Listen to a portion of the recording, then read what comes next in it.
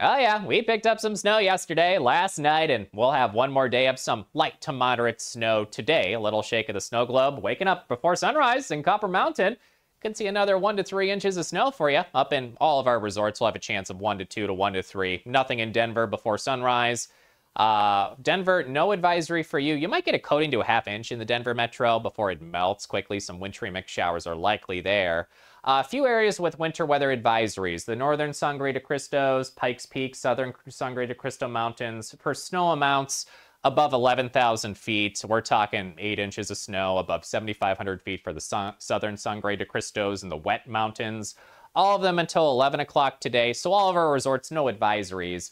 We're talking 1 to 2 to 1 to 3 inches of a snow dish of additional accumulation today. Some areas have picked up over a half a foot in high elevations, and we'll have one more day of snow.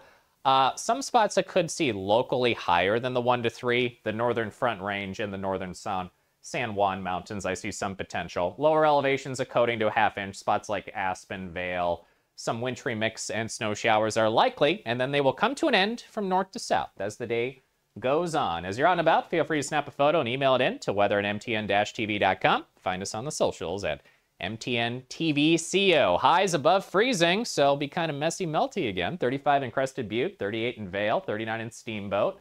For you, 50 in Cortez with a partly sunny sky. Wind gusts will be moderate to some borderline strong gusts. Snow still out there. We'll have some impacts for traveling.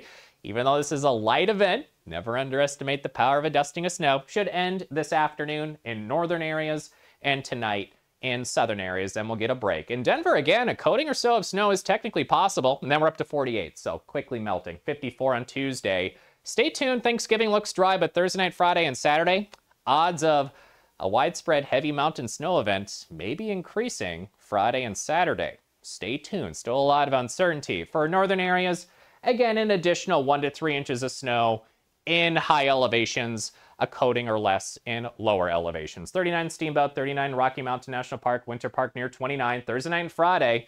Again, we're watching this with great interest. Could have some impacts here for driving if we get that heavy snow, if things line up. Copper Mountain, again, I think we could see high elevations around 1 to 3, half inch of snow or less in lower elevations. High 32 up in Copper Mountain, Snowmass near 35. Dry and cold Tuesday, Wednesday. Clear skies tomorrow. Around Summit County, 1 to 3 possible for you in the ski resorts. Half inch or less for everybody else. Highs 20s and 30s. Thursday night after Thanksgiving, Thursday night and Friday. Yep, watching for snow and cold for the weekend. South, could see 1 to 4 inches of snow up in the northern San Juans. Tell telluride near 30. Now for your mountain traffic. Be safe out there.